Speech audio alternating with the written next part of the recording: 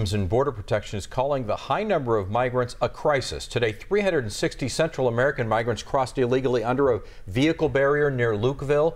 Border Patrol Chief Roy Villarreal says there has been a shift in the types of people coming to the border as well as the number.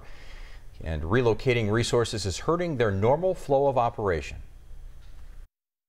This group today, uh, again, just under 400, created a tremendous gap in, in border security. I had to allocate, had to close down the, the, checkpoint in Ajo. I had to allocate virtually an entire station to begin transporting this group of 400 to a secure location to provide care, to provide medical attention for them. Border Patrol says it doesn't have enough resources to detain and take care of those families and children properly. And still ahead, the husband